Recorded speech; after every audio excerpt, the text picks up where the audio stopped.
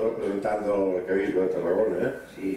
i a part que vam coincidir el viatge, eh, un dia anant a sopar, anàvem junts de costat, vostè i jo a l'autobús, i venia justament de reunir-se amb el Vescovo de Pompeia.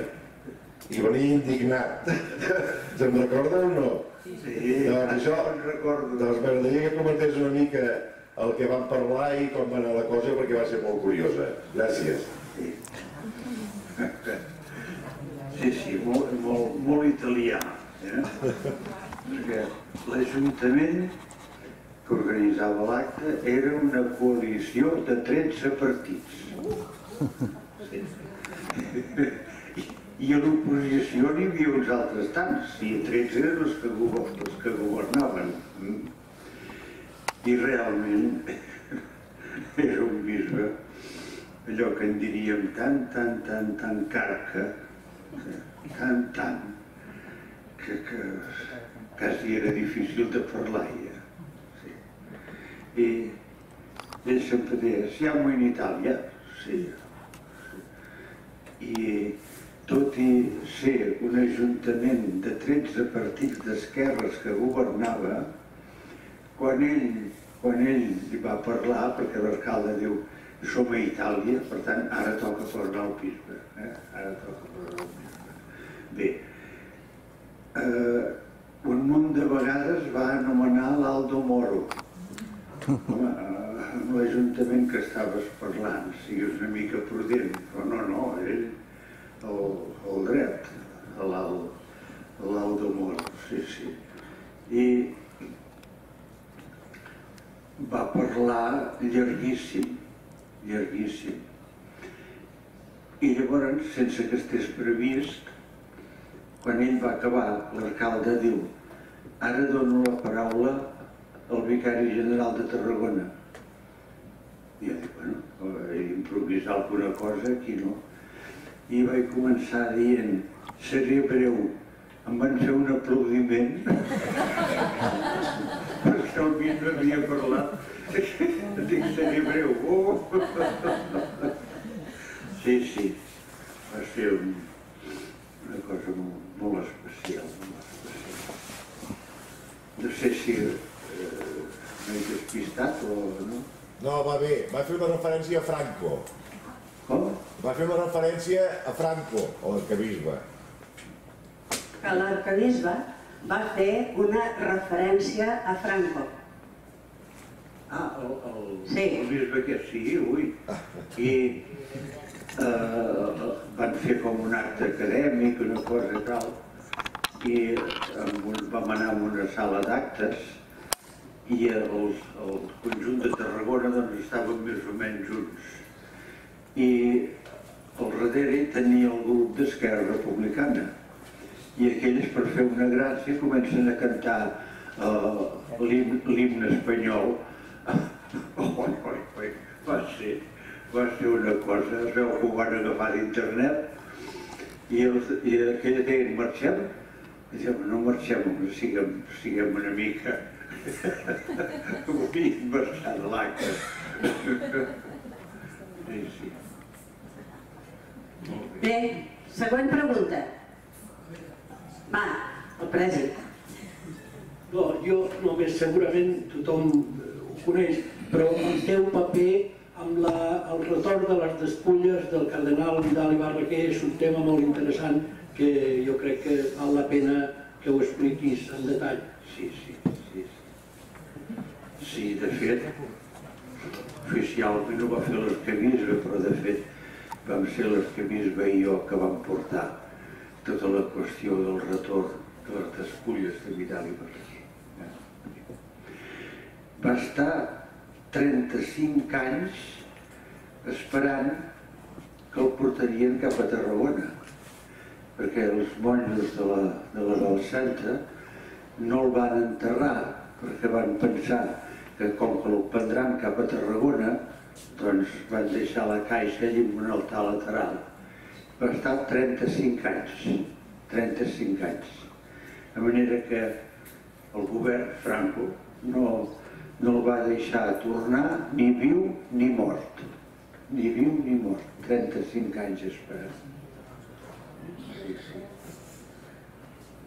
Llavors va ser realment un acte molt important.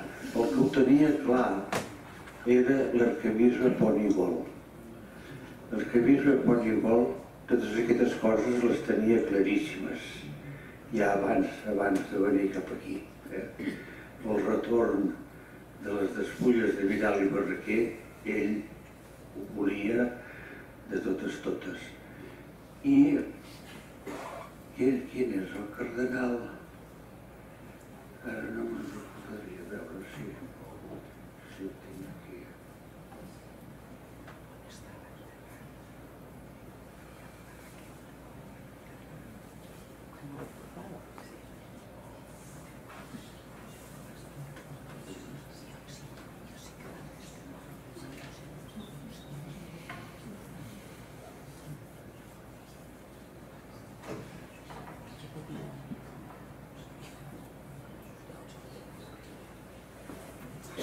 Igual, ara no recordaré, no recordaré el nom.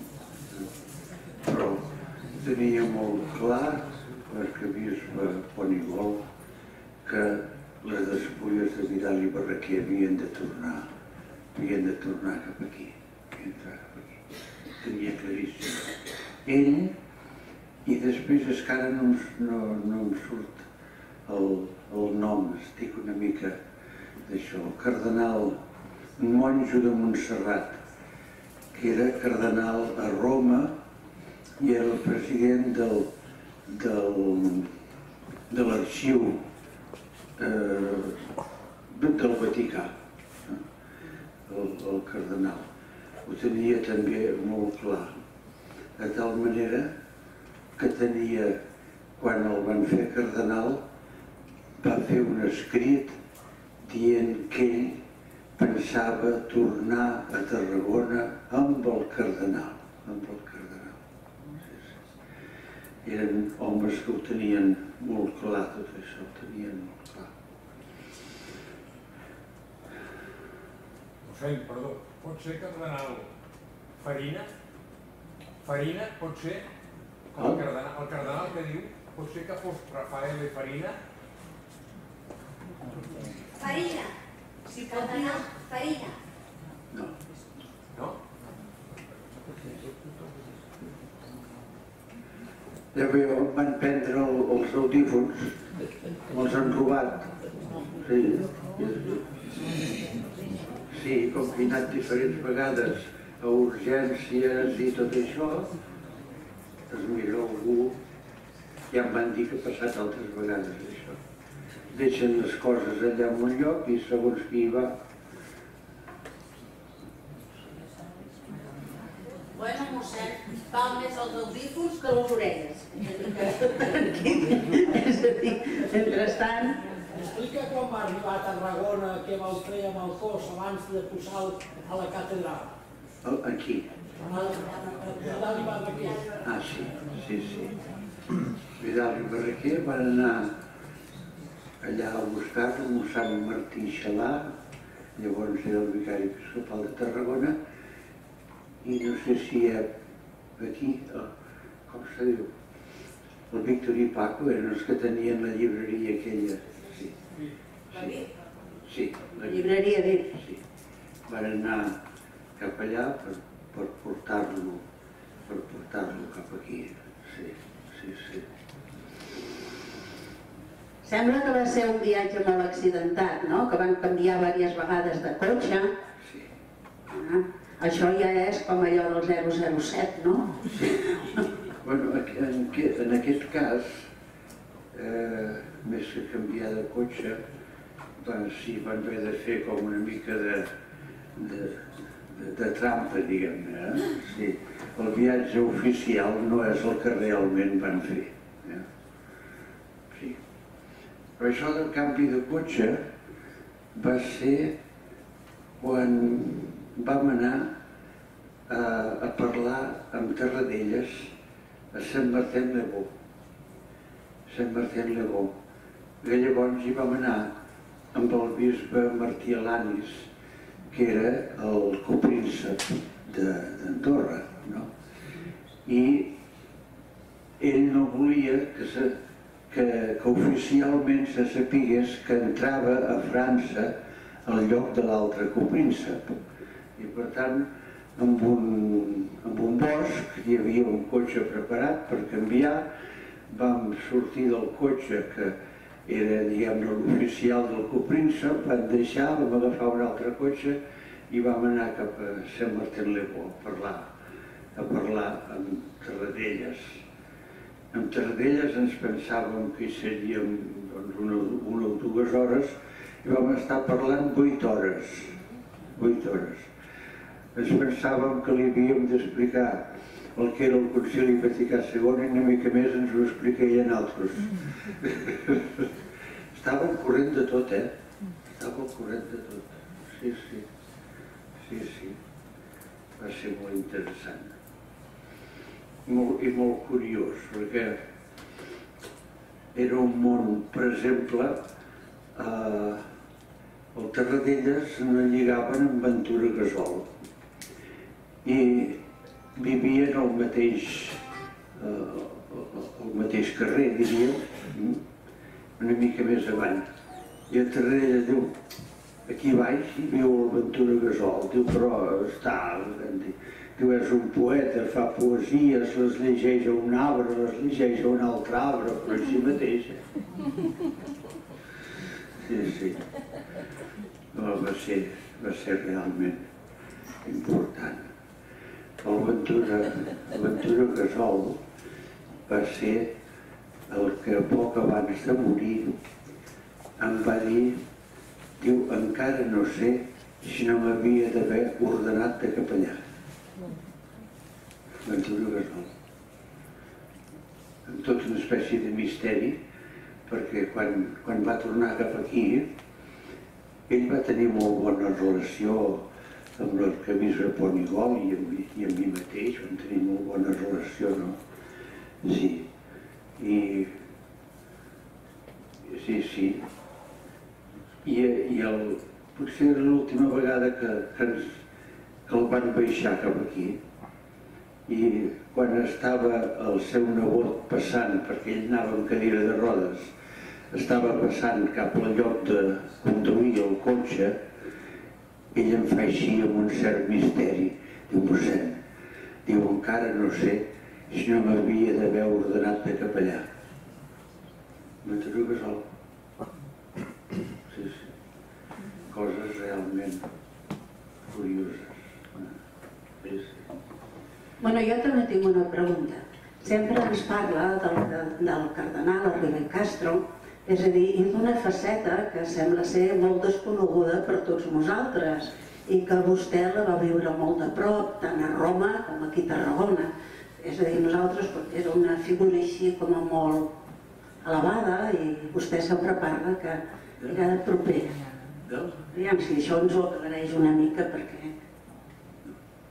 Si, si, si ens ho explica una mica. La Riba i Castro, aviam. I tant, i tant. Sí, sí. Amb el cardenal de Ribé i Castro hi vaig tenir moltíssima relació, perquè durant el concili els bisbes estaven a Roma i els bisbes espanyols estaven quasi tots al col·legi espanyol i jo com a estudiant també hi era. No?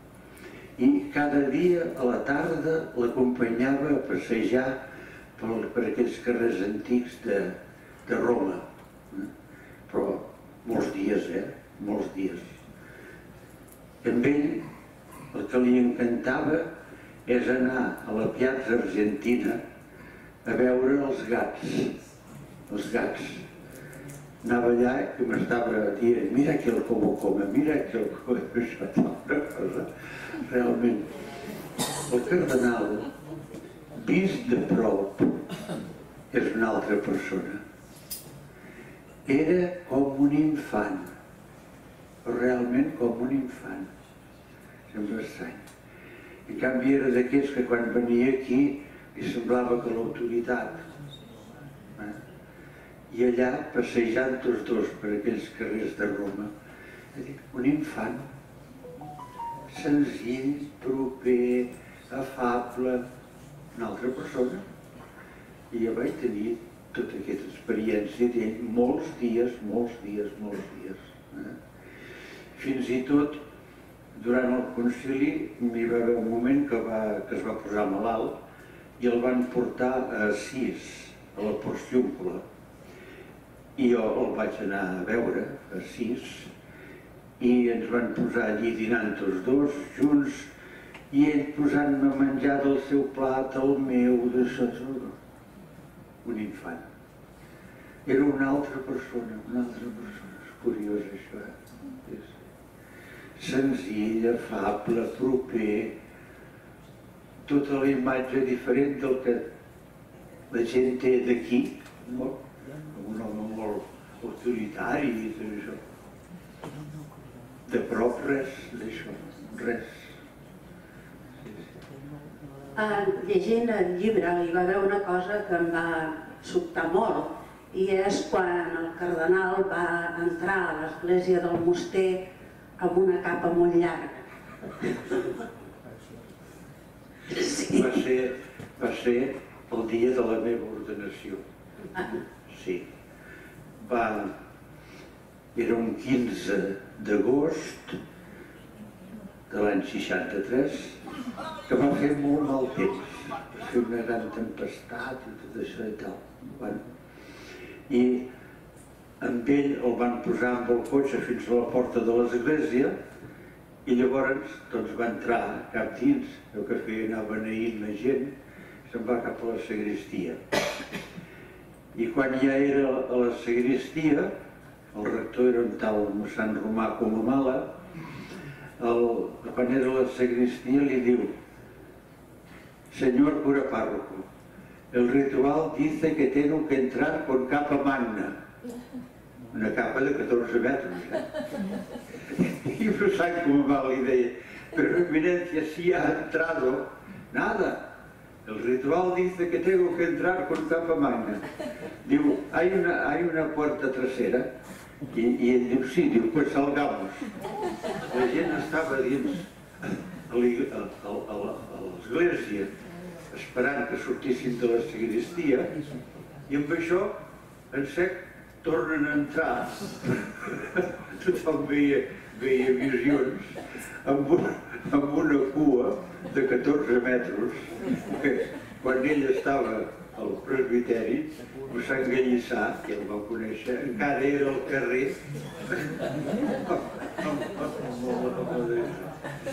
Ai, sí. Va ser molt curiós, va ser molt curiós. Diu, eh, doctor Cabré, pídame la bendición, havia de predicar. Diu, eminencia, el ritual no lo exige, pero lo exige el sentido común.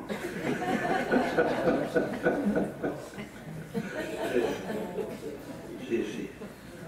Vinga, ja veieu que vaig una mica també així com a despistat. I ja ho digueu, pregunteu. Ja ho sabeu que no estic bé, eh? No és cap secret. Mossèn Barberà. Miquel, ja ho saps. Fa 35 anys aquest any que vas començar una gran tasca, la música a la catedral, amb el cor, més, més tard va venir l'orquestra.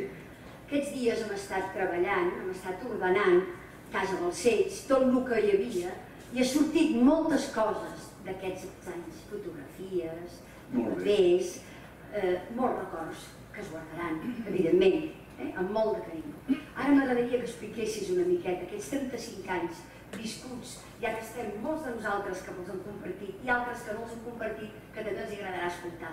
El que hem vist visible, el que has fet darrere, la feina, la gran feina que has fet darrere, Sí. i tot el que ens has donat, perquè saps que per mi sempre ha sigut el meu mestre. Sí. Sí, sí. Jo he de dir que mai vaig tenir la idea de dir farem un cor a la catedral o farem una orquestra, sinó que la meva idea sempre va ser d'anar trobant solucions a les dificultats que tenia. No?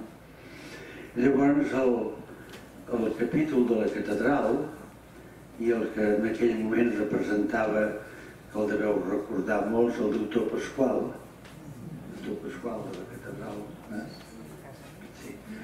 Doncs em van, em van demanar que els anés a ajudar, a ajudar perquè no se'n sortien amb la música, eh? no se'n sortien.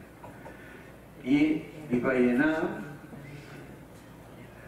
però és que vaig arribar fins i tot tan cansat que una Setmana Santa vaig, va, se'm va com a... mm, això, el cabell. eh, Caure. Sí, sí, sí. Ah, perquè realment no... I jo havia de fer de petit cor, de canonges, d'assemblea, de monitor, havia de fer de tot. I dic, jo no puc. Fins i tot em vaig quedar, em vaig quedar afònic. Eh? I va ser quan vaig dir aquí, si no m'ajuda algú per la música jo no me'n puc sortir. I llavors en aquell moment n'hi havia uns quants, que alguns els coneixeu, que eren els que tenia més a prop, els vaig demanar que em vinguessin a ajudar i així vam començar. De manera que jo ho he dit moltes vegades, jo el que he fet és intentar trobar solucions pels problemes que se'ns presentaven. No per haver fet un ideal, dir farem un gran cor, farem una... No, això no. No, no. El cor va començar amb, amb uns quants d'aquests coneguts. L'orquestra l'orquestra va començar perquè com que vam començar a cantar allà on cantem ara, i llavors hi havia eh, l'orgue a, a, a, mig, a mitja catedral i nosaltres cantàvem allà dalt i la veritat és que qui tocava l'orgue tant tant feia... Eh? Bueno, doncs llavors vam haver de demanar si podíem tenir algun instrument per assegurar l'afinació. Aquesta va ser la idea, per assegurar l'afinació. Perquè, clar, és molt compromès de cantar allà dalt, tenir l'orgue a mitja, catedral, i al mig, doncs només que hi hagi unes cromes de diferència ja no, ja no funciona. I així va ser com usant eh, Ferrer, sí, que va ser rector de- d'aquí de la catedral, tenia una, un amic que tocava la, la trompa, sí, que era el gendre de la rellotgeria que hi havia aquí al carrer Major, al carrer Major. Eh? Sí. I aquest va ser el primer que va començar a venir amb nosaltres per assegurar l'afinació, per assegurar l'afinació. I així vam començar. El senyor de Agapito. Eh? Que aquest senyor es deia Agapito, el de la trompa, No, no? no, francès. seria. Era el gendre de la rellotgeria del carrer Major. Sí. Bueno, és igual, Agapito que Francesc, totes dues són bones. Molt bé. A mi m'agradaria que expliquessis una mica el Concili Provincial Tarraconense, que va ser una, una fita molt important dintre de la història de la diòcesi.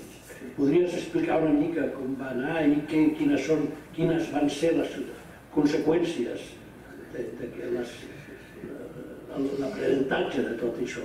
Mm. Bé, una mica el rerefons del Consell Provincial era de dir s'ha acabat el, el, el Consell Vaticà II i llavors per portar-lo a la pràctica com ho podríem fer i el, els, els bisbes doncs, i jo també hi vaig intervenir molt vam pensar que el millor era fer uns actes nosaltres aquí per aportar a la pràctica el Concili Vaticà II. En el fons la idea és aquesta, eh, de dir, mm, fem alguna cosa per, a, per aportar a la pràctica el Concili Vaticà II. Sí, sí, sí, sí. És això, és això. I el doctor Torrella hi va tenir molt d'interès perquè ell havia estat a Roma director del secretariat de relacions eh, interreligioses. Eh? I ell va arribar al convenciment perquè es relacionava molt sovint amb les esglésies orientals, catòliques, ortodoxes, tot això d'això, ell tenia la idea de que si nosaltres actuéssim de manera més sinodal, curiós que llavors ja parlava d'això, Torrella, si nosaltres actuàvem d'una manera més sinodal, seria més fàcil relacionar-nos amb les esglésies orientals. I ho tenia clar, això tenia clar. I no se sap gaire, perquè ell ho va dir diferents vegades, però en públic així no ho va dir massa, això. Jo sí, perquè treballàvem bé, l'un amb l'altre, no?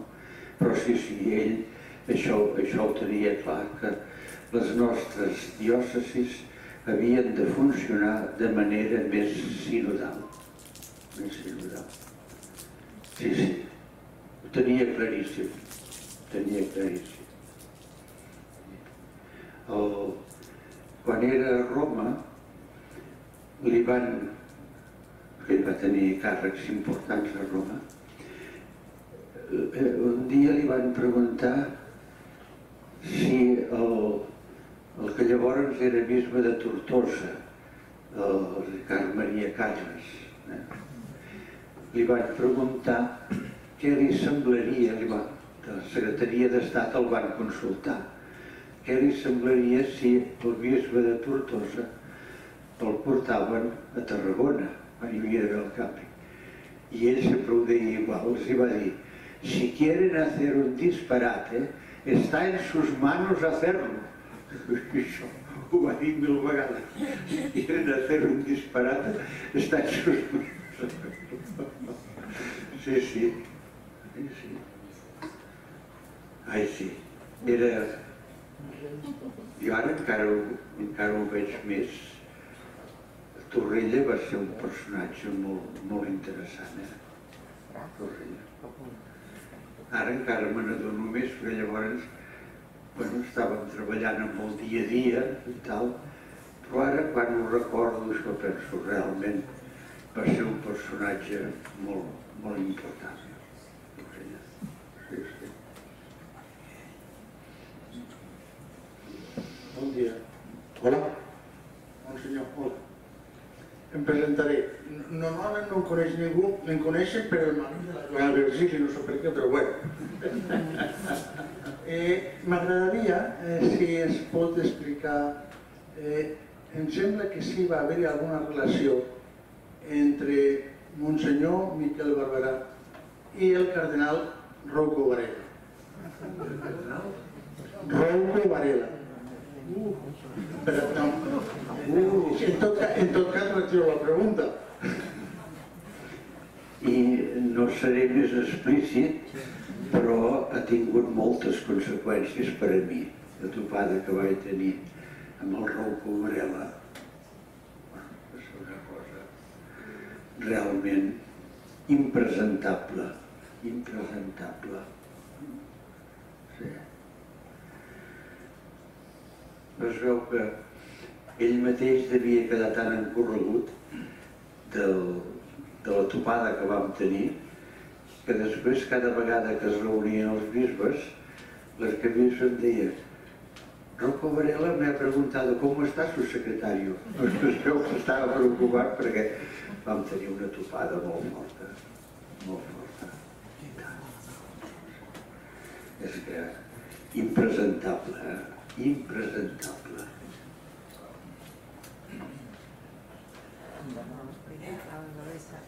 Quin és? Allà, la Maite. Vinga, Maite, tot per tu.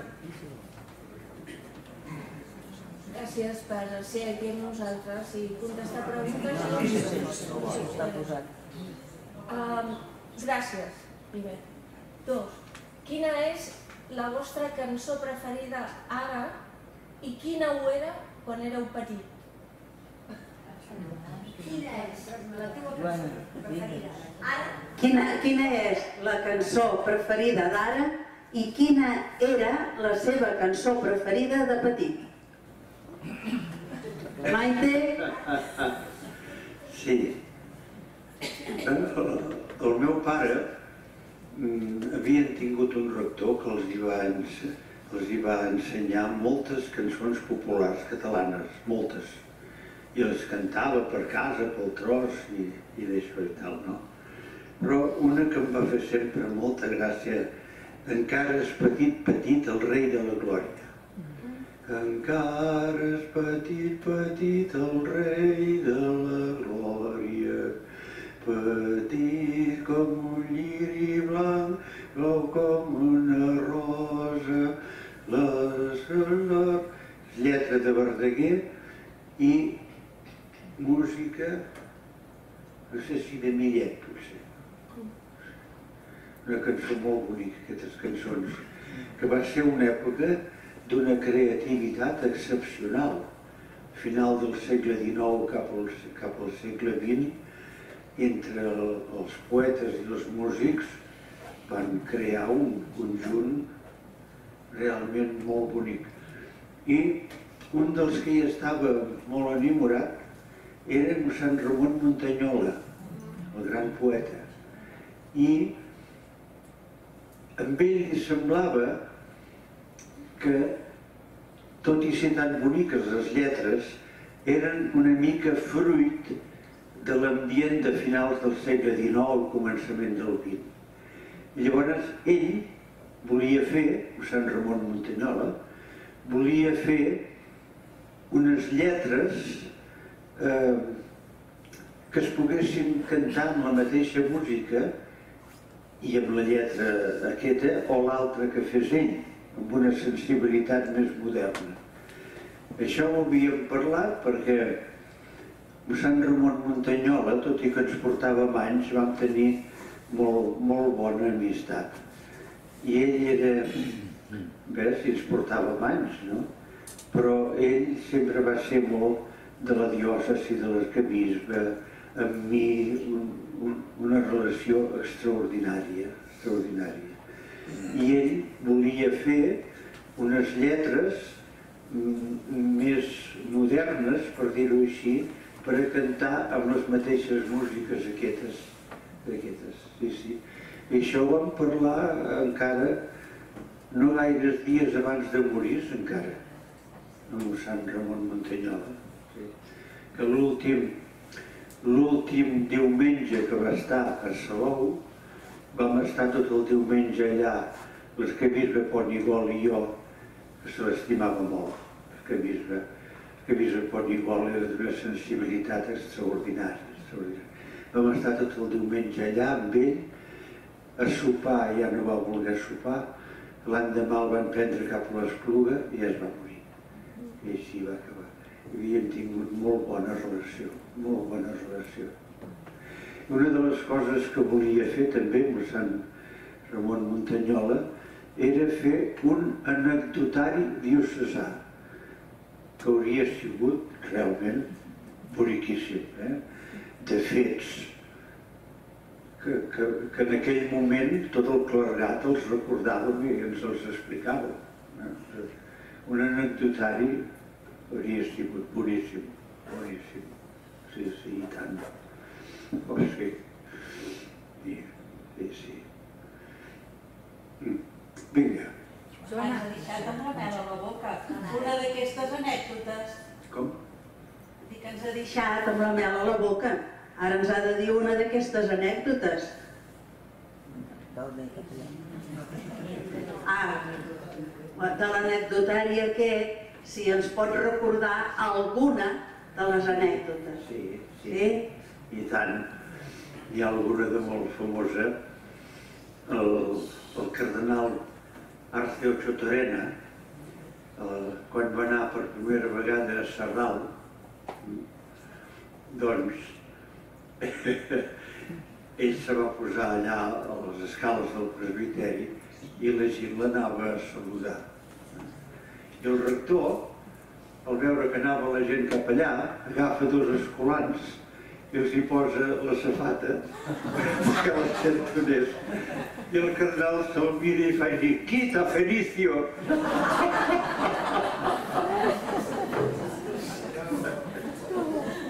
Es veu boníssim, es veu boníssim.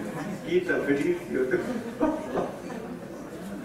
Sí, sí. Molt bé, eh? Molt bé. La, la, a falta que ens expliqui quina és la cançó d'ara, que li ha preguntat la això... La que li agrada ara. Bueno, hi ha diferents cançons, no, no diré una per una altra, no. Jo, quan, quan hem fet un repertori, és perquè he cregut que era interessant, per tant, no... Són una colla de cançons les que considero molt boniques que tenim ara en repertori. Sí. Buenos días, Musén. Sí. Quería preguntarle, se lo he querido preguntar muchas veces, pero nunca hemos tenido tiempo, porque siempre ensayamos más del tiempo que tenemos. Y se lo pregunto ahora, de todas las veces a lo largo de estos años que usted ha dirigido el coro, ¿ha habido alguna actuación del coro que le haya a usted dejado especial huella? Sea aquí en Tarragona o sea fuera. ¿Me explico? Si me ha dejado, Especial huella. Una, un recuerdo especial, alguna actuación del coro en estos años que usted ha dirigido. sí, sí, sí. Gracias. Sí, sí, sí, incluso a veces me emocioné dirigiendo algunas piezas del, del coro. Sí, sí. Pontifical de Flames. Pontifical de Flames, jo sempre vaig somiar que algun dia el pogués dirigir, però no, no m'ho pensava que fos possible, però ho va ser, ho va ser. I realment, Pontifical de Flames no solament és una peça per mi estimada perquè és de mossèn Tàpies i d'això, sinó perquè fins i tot ens hi va deixar intervenir una mica quan ho estava fent. Mossèn Tàpies, si el vau conèixer, era com una mica que diem. Eh? Són un barret així, però, però era cordial, eh? era cordial. I quan va començar a fer el Pontifical de Flames, ell va començar amb un dels motius del, que és ta ta ta ta ta ta ta ta ta pam pam i, i un dia li vam dir però mossèn, amb els goig tan macos que té. Hem de, ha de començar el pontifical de flames amb aquest altre motiu. I llavors ell no deia res, se quedava com a sèrio. L'endemà ja pujava amb uns papers i ja hi va posar el començament. El pontifical de flames comença amb el motiu dels goig pam pam pam pam pam pam pam pam. Pam la la la la la és una preciositat és una preciositat. És una gran peça una gran peça. Sí, era molt bon músic Sant Tàpies eh? molt bon músic. Quan quan era que vam que vam cantar eh, com va ser ai, la meva memòria. I estava dirigint eh, l'assaig un tal Argudo. Director i estava dirigint i en un cert moment se para i diu no sé es va quedar que no, no sabia no sabia realment Mossèn Tàpies què havia fet. Perquè havia fet un, uns acords molt dissonants i molt d'això no? i, i d'això. I ell se para i diu bueno, diu, aquí mossèn Tàpies va fer un experiment. Endavant. Sí, sí. Que és aquell moment del coral aquell si fuis adorable i i hi ha un moment que diu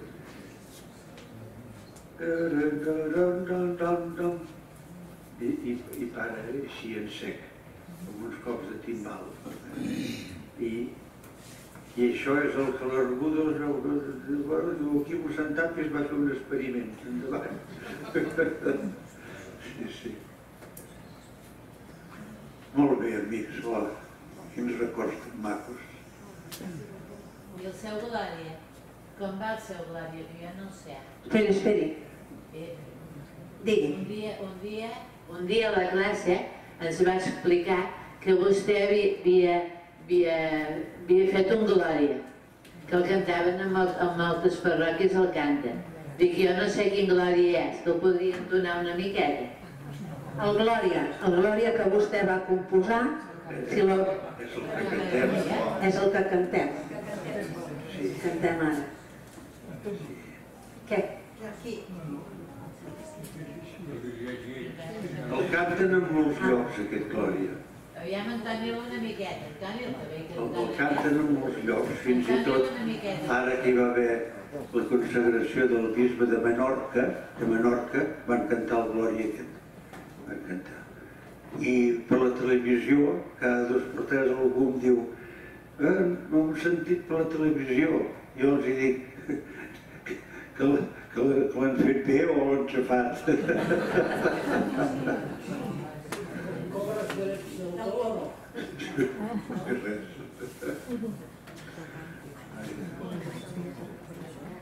Em sembla que una sola vegada del cantonal aquell vermell de missa dominical, no sé quan era que van fer una reedició, em van donar mil pessetes. Carai, Sí. L'única cosa que, que he cobrat de tot. molt bonic. Qui? Vostè?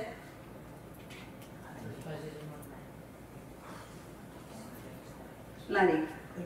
No.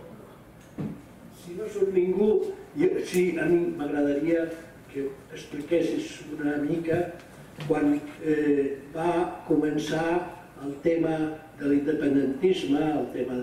Eh, va haver un grup de capellans de la diòcesis que va fer un manifest dins dels capellans, eh, eh, sembla que signaves tu també. Podries explicar una mica què hi ha darrere de tot això i quines conseqüències ha pogut tenir per vosaltres? Em sembla que és una història poc coneguda, perquè la major part, i tot suposo que la major part dels que estem aquí, tenim la impressió de que això va començar, te diré jo, als anys, als anys 70, potser o així, no? Però això no és veritat. Els anys que vaig estar a Roma, que hi vaig estar sis anys, del 61 al 67, aquest ja era un tema vivíssim, vivíssim, de la independència. I allà al Col·legi Espanyol es discutia acaloradament. I n'hi havia un, mossèn, com se diu, que ara ja és mort, però que era molt, era molt tranquil, que clar, al menjador acostumàvem a posar-nos en taules catalans, els castellans, o d'això i tal, no?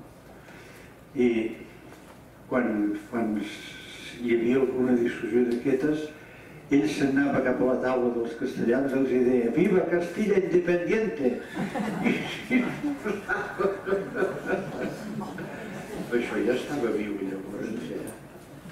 estic parlant dels anys 60. Sí, sí. Desconeixem una mica tota aquesta vida així. Sí.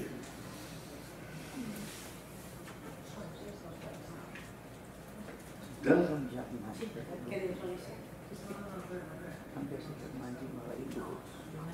Bueno, ell volia... L'Hilari li preguntava sobre el manifest que va sortir al diari, quines conseqüències va tindre per la diòcesi de Tarragona. És que no, no ho recordo, no sabria dir jo ara, no... Em penso que va passar així sense, sense pena ni glòria. Surt un dia al diari i després ja... No sé, no... No, no, no, no, no, no, no sabria dir res més. I amics, qui s'anima més? Quan, A què? quan vam cantar l'Ave Maria teva a Montserrat, com te vas sentir? Quan se va cantar l'Ave Maria teva a Montserrat, com es va sentir? Emocionat. És que nosaltres ens vam emocionar moltíssim, molt, molt, molt. Suposo que... La... Bé, aquest Ave Maria n'hi ha que la valoren. El, Miquel Rovirosa, que ve a tocar, ell l'ha ensejat amb el seu cor que té a Barcelona i diu que els agrada molt i la canten. Sí, l'Ave Maria. Aquesta Ave Maria jo la vaig fer eh, amb una idea. Per cada frase trobar els acords que em semblava que, es, que expressen millor el sentit de la lletra. Aquest va ser, aquest va ser l'objectiu de- d'aquest Ave Maria. De no buscar, eh, com diria jo, la singularitat musical i tal, sinó l'expressivitat. De manera que cada frase pugui ser ben expressada, ben cantada amb aquella música. Sí, sí, sí. No la podríem cantar ara. Li, li demana si es podria cantar ara. Ave Maria, què? Sí. Sí, sí. Aquí som molts que la sabem. Eh? Doncs vinga.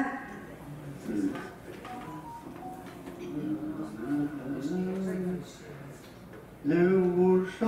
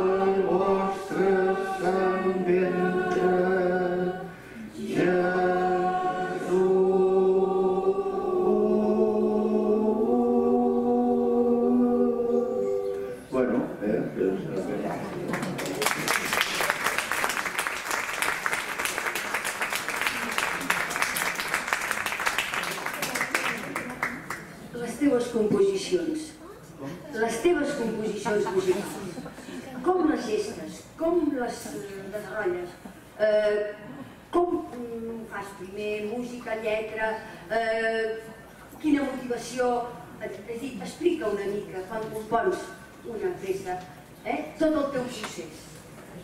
el procés de el procés de cada peça jo bàsicament sempre en primer lloc és la lletra és perquè a part d'alguna altra cosa tota la música que és música religiosa eh?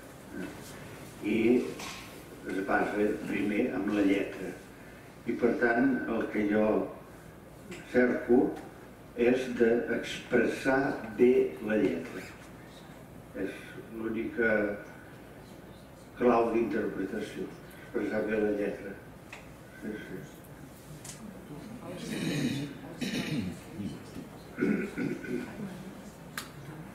Una de les coses que estic més content d'haver fet és el camp d'entrada del dimecres de cendra. El Salm, sí, sí, aquest és el Salm. El Salm aquest és... Jo personalment és de les coses que estic més content d'haver fet. T'emociona cada vegada. Sí.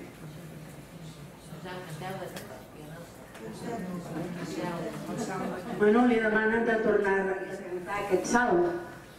Li demanen de cantar aquest salm del dimecres de cendra, al camp d'entrada. Sí. Vos us de tothom,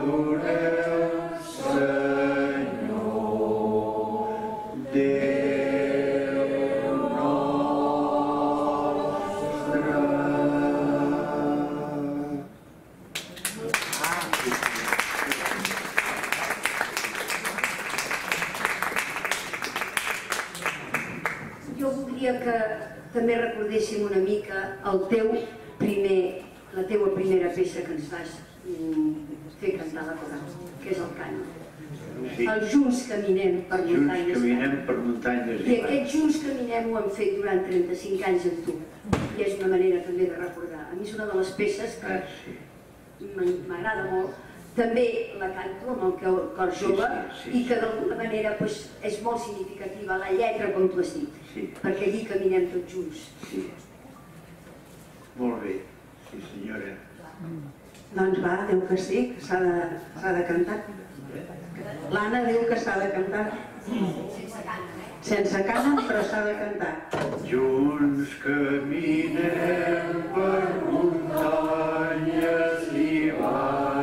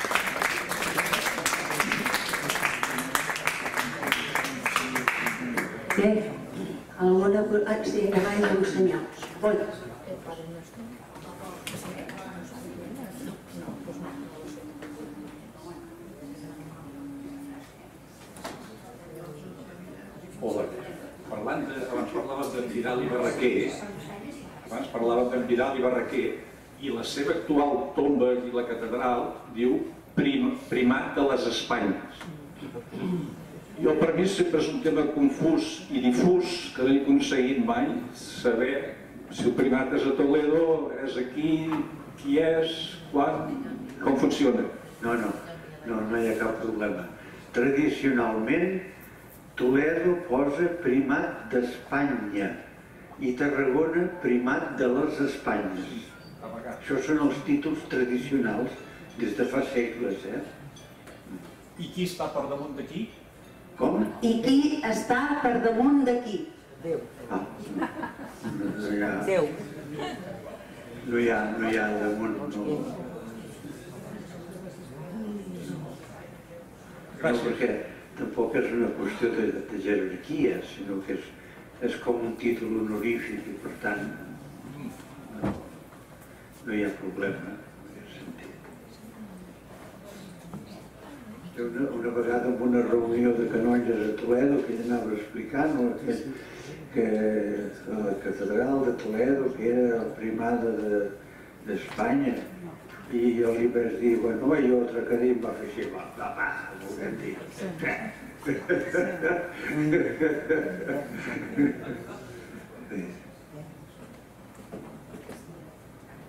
Bé, porto una pregunta que l'ha de fer l'Anna, tot i que encara no ho sap, de part de la Montse Llosona.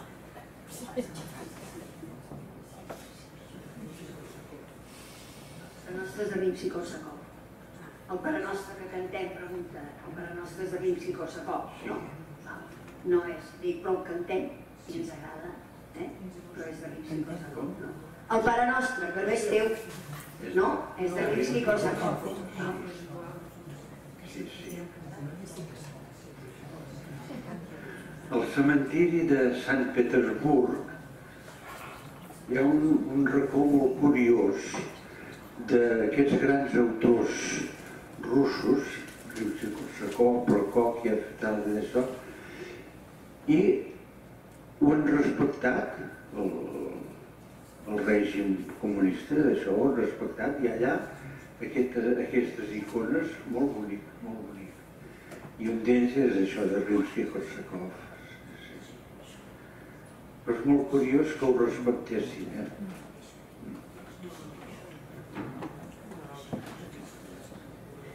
L'Olga ens diu, l'Olga Xirinats, que sí que els han respectat. L'Olga Xirinats ens fa l'afirmació de que sí, que és veritat, que han respectat i que és molt bonic. Mm? Què?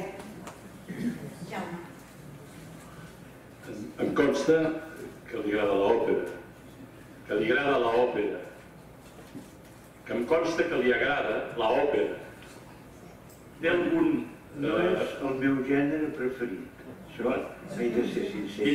Dins, de l'òpera, quin és l'autor que més li agrada? Home, això... Ah, no surt el nom. Wagner? Eh? El Wagner el poder? El? Wagner, Verdi, Mozart?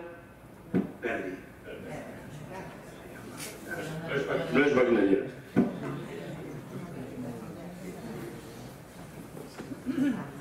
Bueno, Jo li volia preguntar si en, un sent, si eh, en les composicions en el senyor Juncosa, Juncà, Juncà, Juncà, eh, li han agradat, sempre han estat d'acord en, en com per exemple, allò que van fer de sí, el comprador, si, li ha, si ha, ha tingut alguna vegada que dir-li no, això no va, o sí que va, o, o no m'agrada, amb el Juncà. No he acabat d'entendre. esperi, esperi, esperi. No, digue-m'ho tu, Joana. En, el Tomàs Juncà, quan quan ell, en vostè també ha composat moltes peces, van fer aquell de, de Nadal, que van fer el- d'allò, si va tindre alguna vegada que dir-li no, això no, no va, o sí que va, o posa-li això o posa-li l'altre, perquè és una cooperació de, vos- de vosaltres dos.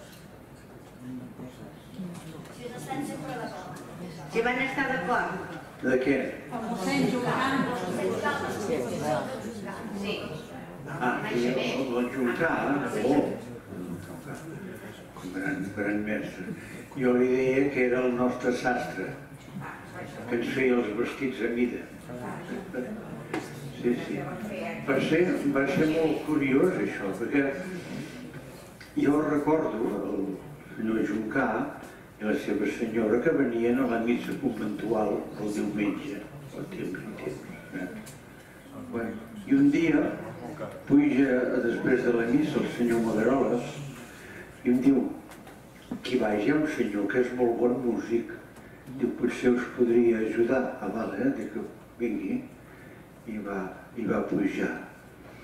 I, I em va dir que tenia ganes d'ajudar-nos per la música que fèiem a la catedral i d'això. I jo li vaig dir, sí home, di, miri, eh, ensegem tal dia, tal hora. Diu, és que el meu no és cantar, diu, el meu és tocar. Ah, i calla, i això, parlem-ne, parlem-ne. Diu, que té alguna cosa començada? Dic, sí, dic, el cant d'entrada de Santa Tecla, el tenia... diu, "Por- porti-me'l. Al cap d'un dia o dos ja me'l portava tot eh, harmonitzat, orquestat, tot, tot, sí. El Joan Juncà va ser extraordinari, extraordinari. Extraordinari. I sí. I és el cant que es, fa, que es canta ara. Si és el cant que es canta ara. Pregunta si és el cant que es canta ara. Aquest, aquest que deia de mossèn Juncà de Santa Tecla. Sí. Sí, sí. És el que cantem ara, sí. Sí, sí. Sí, sí. Ell ho portava de seguida ja eh, això, harmonitzat, orquestat i tot, tot, ja. Sí, sí, jo li deia el nostre sastre.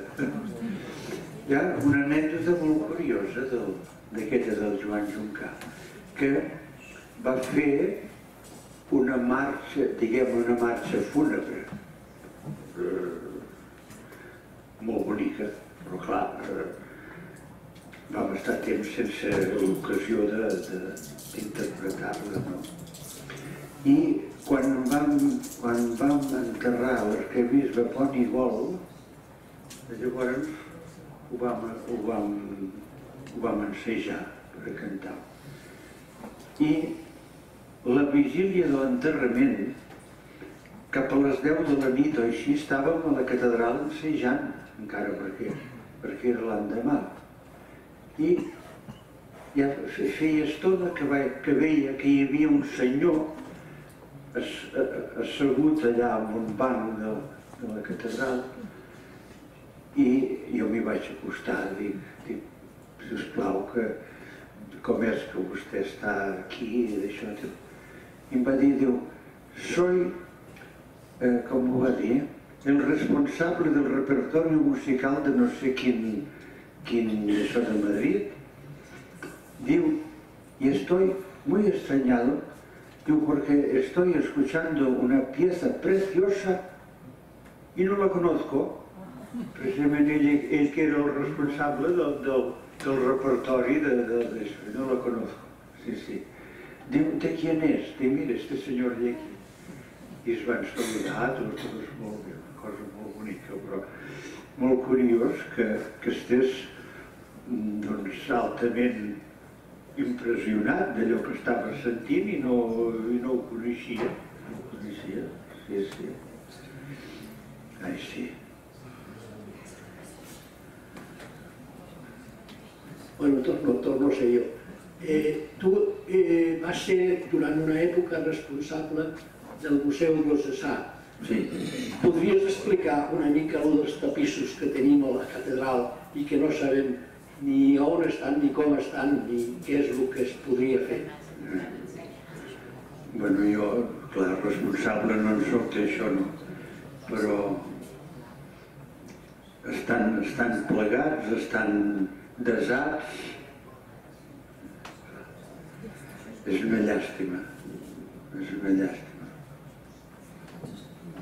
Però posar-los també és un risc, perquè clar, eh, es poden deteriorar i tot això. Sí. I de, una de les últimes vegades que han estat penjats va ser que va venir el rei Juan Carlos, eh? sí, l'emèrit, sí. I quan va entrar a la catedral, per i, i deu entendre una mica amb això, no? Va, de, de, va engegar un disparat, diu, pero que tienen estos aquí colgados, no se dan cuenta que si va fer un, una, un rapapolvo. Sí, sí, sí, sí. I una altra vegada van venir uns tècnics del Ministeri de Cultura i aquell dia l'arquebisbe no hi era, els vaig rebre jo, vam estar parlant, i aquells em van dir, ustedes no saben lo que tienen. Diu, perquè en el, en el, en el Palacio Real hay algún, algún tapiz mejor, pero no una colección como esta. Y en el Escorial igualmente. hay alguno que es mejor, pero no una colección como esta. Ahí queda eso, ¿sabes?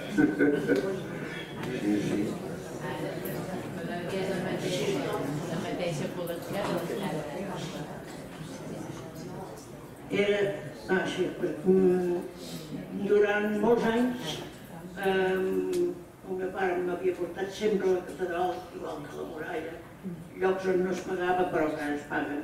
Bé, no, això no té importància. Però jo havia pres totes les sentències dels tapissos que eren precisament per il·lustrar el poble, perquè tots són refrats que tothom coneix i estan allà teixits, escenificats perquè la gent eh, els pugui entendre amb, amb la figura. Jo pregunto, hi ha diners al Cabildo, a la catedral, allà, hi ha diners? Diners. Diners. Ho dic perquè en els castells francesos fan uns facsímils dels tapissos i els poden tenir corcant-se a les golfes com estan ara i mentre estan ensenyant fan uns, una, ara unes reproduccions molt ben fetes, que de roba i tot, jo, i, ells tenen desats, però el facsímil està posat aquí. Això pregunto si és qüestió de que fos molt car de tornar-los a posar i tornar-los a veure o no. Però que estiguin allà corcant-se amb unes golfes, això no, no em sembla. Tens tota la raó. A veure, ara no fa massa, ne van No, tota la quants. Que, que, que, que és la mateixa col·lecció que dieu, jo no sé. N'hi ha uns quants de restaurats per la- per l'actual. Ara, perdona, no t'entenem. Digues, digues. Hi ha Espera, uns que quants dic. tapissos, Sí. allà a la sala on hi ha la cosa aquella del, del corpus, hi ha uns quants tapissos tot tombant d'aquella sala, hi ha uns quants tapissos, ai, tot tombant de la sala on hi ha la, el misteri de corpus, no? Allí hi ha uns quants tapissos tot tombant que estan recient restaurats. Jo pregunto, què és la mateixa col·lecció que dieu? Per, perquè en aquests tapissos que estan restaurats hi ha intervingut, que, que, que jo hi vaig estar quan ho van, quan ho van dir, la Generalitat ha, pagat uns diners, l'arcabisbat uns, uns altres, i el que vostès, el capítol de la catedral, 4.000 euros. D'això no me'n recordo, de los de més no. M'entén? Però són els mateixos? Hi ha, hi ha tapissos penjats restau, recient restaurats. A la sala, a- allí, allí al, clau, al claustre, al claustre, quan surts de la catedral i et passeges pel claustre, tires avall avall, hi ha una sala on, on hi ha el misteri del, del corpus, allò que s'hi posa la sagrada forma del corpus i es passeja per Tarragona. Doncs aquella sala ha estat tot tombat amb tapissos recient restaurats. I jo pregunto si és la mateixa col·lecció que parleu, perquè si no, se- se'n poden seguir més endavant, suposo que ja ho tornaran a fer. No sé, no. No si, si és això el que diu o que ho confon amb tota la restauració del Museu Diocesà, que hi ha tots els retaules, que estan restaurats i aquí sí que eh, el capítol va donar 4.000 euros. Que jo recordi, no, no són tapissos, que jo recordi tapissos ne tenim a la sagristia i que n'hi ha dos de penjats i després ne tenim al Museu Diocesà, hi ha el tapís de la Bona Vida i el tapís mortuari de Poblet. Els més, l'última col·lecció que jo recordi és la història de Cir que va estar exposada en la Torre del Pretori que llavors allí sí que es van restaurar, però que quan van retornar a la catedral es van desar. Però bueno, bona idea, eh? recuperar els tapissos i sobretot que els nostres nets els puguin conèixer i veure. Això seria mm, fantàstic. Joan ho sap tot, eh? No, La catedral és la que més en sap. no, no. No, però bueno, doncs és a dir, parlant de tapissos, hi ha el tapís de la bona vida que perilla molt, no? És a dir, que perilla molt, que està molt, molt, molt deteriorat i que no, li falten dos metres, que aquests ja no es poden recuperar, però tota la part de baix, amb la inscripció que hi havia i que és bona vida, doncs ja està fora. Aquell que ja estava tan interessat que va venir per aquí, el Javier González, Sí, es va morir. sí. O sigui que aquest era companys de, de curs del seminari, molt intel·ligent. I a la- a Alemanya va ser professor d'universitat precisament per professors, per ensenyar-los a, a això. Era una persona molt intel·ligent i estava molt interessat amb el tapís aquest, però bueno, Tapís de la Bona Vida o també el de les Potestats, els coneixem pels dos noms. I el doctor Vilaltella, que és el Javier González, catedràtic de Múnich, va estar treballant molt i mirant molt aviam eh, qui havia restaurat els tapissos de la catedral de Saragossa per veure si es podia fer almenys un pressupost per poder restaurar aquesta meravella de tapís que només té un petit precedent en pintures murals en el Palacio de Roma. Mossèn, confiem en vostè. a Saragossa hi ha, hi ha una col·lecció impressionant. Eh? Bueno, però a Tarragona no ens podem queixar, eh? que són molt macos.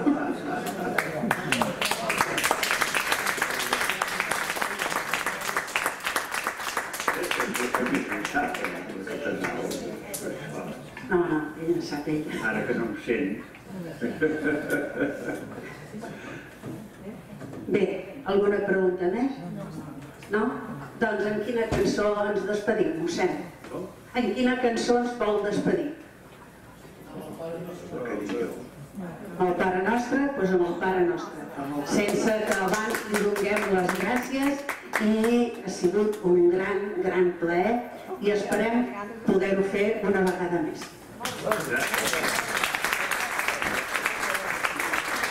Si vosaltres, eh? gràcies a tots.